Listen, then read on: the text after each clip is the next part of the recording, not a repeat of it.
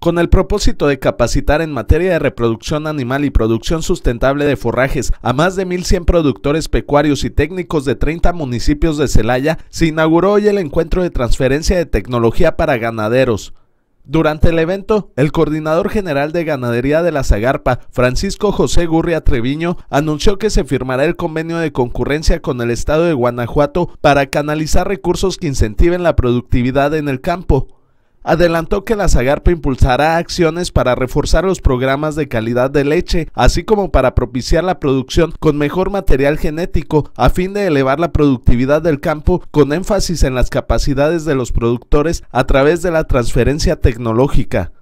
Convocó a los ganaderos a sumar su experiencia para que cada vez sea menor la brecha entre los grandes y pequeños productores y señaló que una manera de lograrlo es con capacitación e innovación tecnológica, Indicó que el desarrollo de capacidades en todos los niveles es una de las tareas más importantes en la dependencia, ya que permite generar las herramientas necesarias para impulsar la competitividad del sector. Al inaugurar el evento, el gobernador de Guanajuato, Miguel Márquez Márquez, enfatizó que transformar la realidad del campo es un gran compromiso de todos y resaltó la excelente coordinación entre la Zagarpa y el gobierno estatal.